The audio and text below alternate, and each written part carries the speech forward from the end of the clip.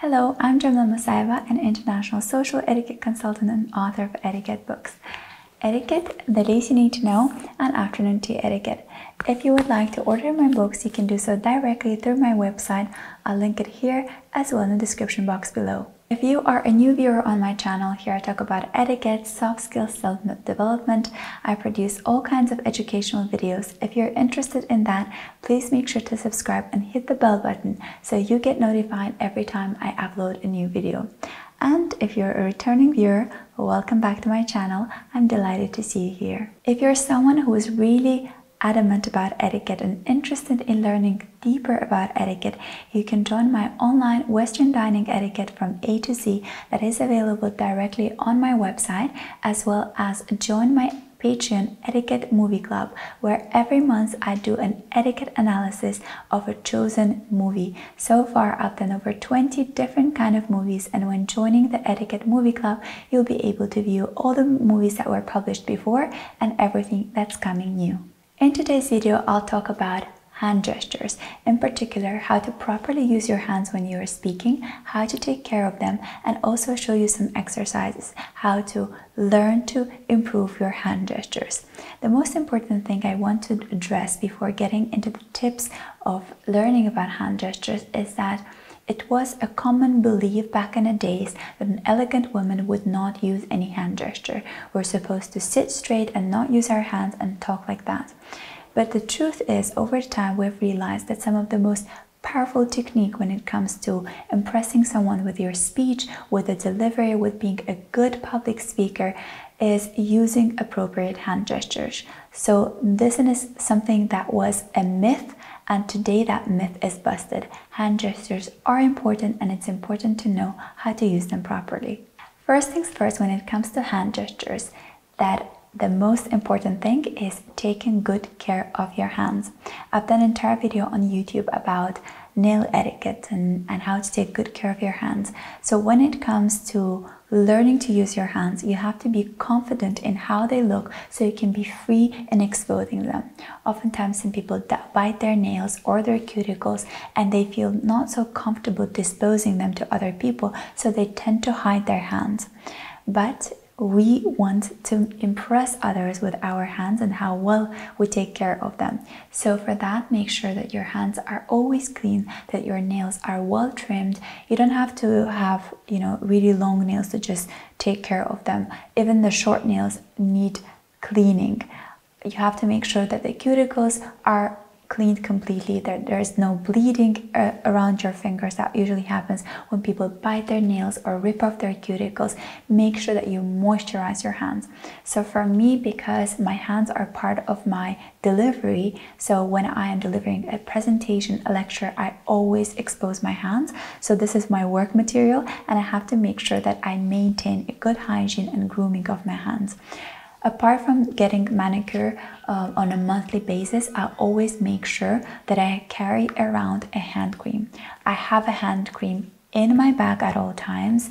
In my office, I have a hand cream on my bedstand everywhere pretty much. I buy all different kinds of hand creams. My favorite one is one by Chanel that I've shown a lot in other videos as well. You see them often on my Instagram. But this is also one of the really great flavored uh, by Ivoire, a Swiss brand. Um, so what I love about it, it has a really nice scent and it's really good at moisturizing. So even when I'm working, I have a hand cream next to me. So anytime I feel like my hands are dry, I make sure to moisturize them. Because even if you have a great manicure, but your hands are dry, uh, the, the skin around your nails is going to look dry. Once you have moisturized them, they're always going to look much more prepped for you to expose it for everyone else to see. Next thing when it comes to getting comfortable with hand gestures is warming up. So if you're a public speaker, you have to warm up your vocal cords. If you're a singer, you have to warm up your vocal cords. If you're a soccer player, you have to warm up your body or any other athlete. So warm up is an important part of getting comfortable with, with the movement. So hand gestures for someone who is not very comfortable or he hasn't been accustomed to using hand gestures and even for those that find their hands to be very stiff when they're taking a picture of their hand or when you're about to deliver a speech you find that it's difficult for you to incorporate your hands I would suggest you to try warming up your hands. So these are the set of exercises that our first grade teacher used to make us do once we were, you know, writing for a whole day and our hands would get so stiff because it wasn't used to holding a pen so tight. She would make us stand up and the, the set of exercises that would help us warm up and relax our hands. So then we could continue writing more. So what you have to do is stand up, you could do it even seated down, take a, put your hands out and then start by rolling your wrists. So relaxing your wrists is essential because if we want to have nice hand gestures, we have to have relaxed wrists. And then she would make us open and close our fingers like that. So we do it a little bit more dramatically so that we can feel the blood pumping, the circulation going on. Then she would make us put our hands together like that and then create a wave. So the bigger or the wave would be, the better it is for the exercise. So if you continue doing this kind of exercise, that will help relax your hands. Sometimes when I'm taking a picture and I'm trying to pose with my hand holding a cup, which you know I've been doing uh, a whole series of JM hands and cups is the series I've created on Instagram with a hashtag. Whenever I'm taking a picture, sometimes I feel like my hand is very stiff. It's not realistic the way I'm holding a cup.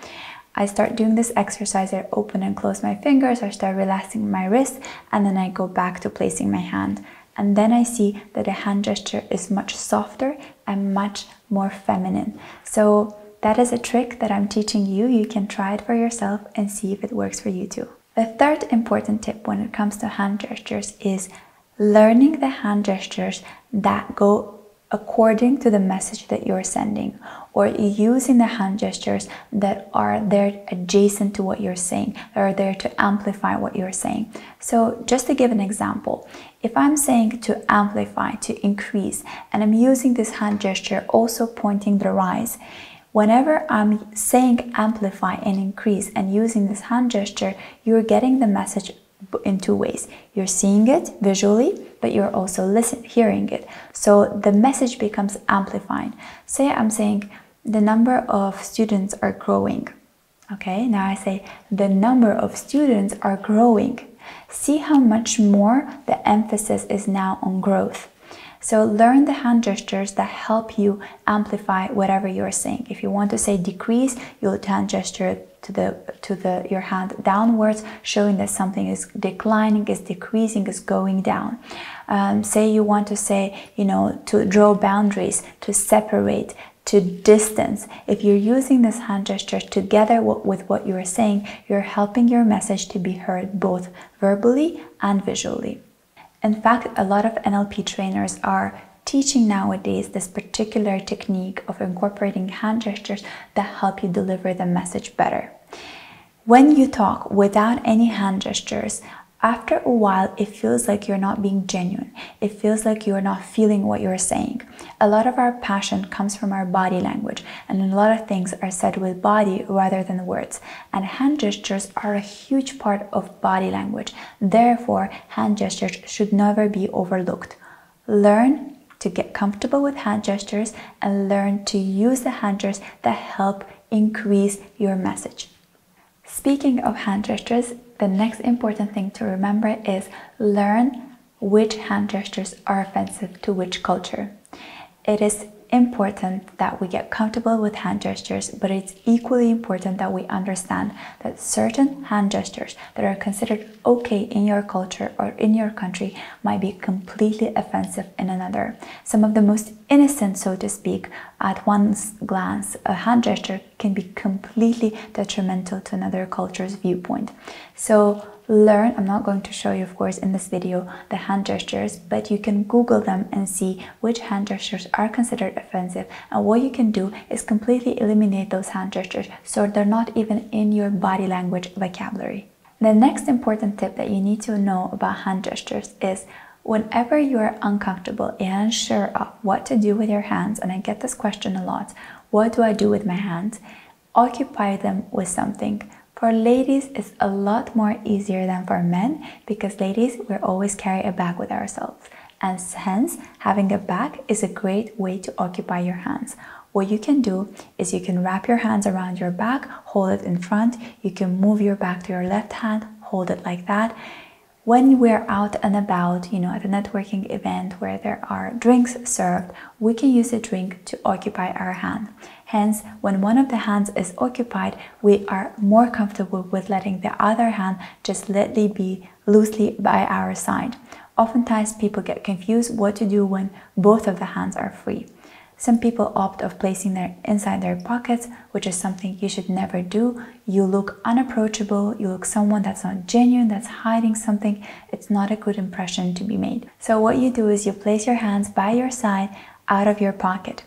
For ladies, if you're in doubt, if you're nervous, if you don't know what to do with your hands, you can always use the back to occupy them. Now I'll show you three different hand gestures that look very feminine and very elegant from the side that you can practice while listening to someone or uh, when you're out and about. So the first thing is called a hand clasp. You can see that a lot that I do in the videos. What you do is you put your hands together like that and wrap them very gently. You don't have to do it stiffly because then your skin is going to red and white like that. You do it very gently, just wrap them around and just lay it flat here on the table if you're listening to someone. So hence your palm, your hands are visible, not your palms, but your hands are visible and you look very delicate. You can also place them on your lap like that while listening to someone, you know, deliver a speech or if you're at dinner, it always looks very nice.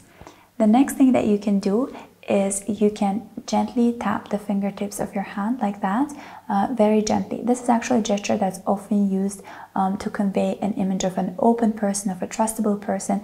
Um, it is usually taught for a lot of public speakers to place their hands like this um, to convey openness. But basically, whenever your palms are visible, it means that you are someone who's open and someone who could be trusted. So this is the way we perceive a person when we're able to see the insides of their palms.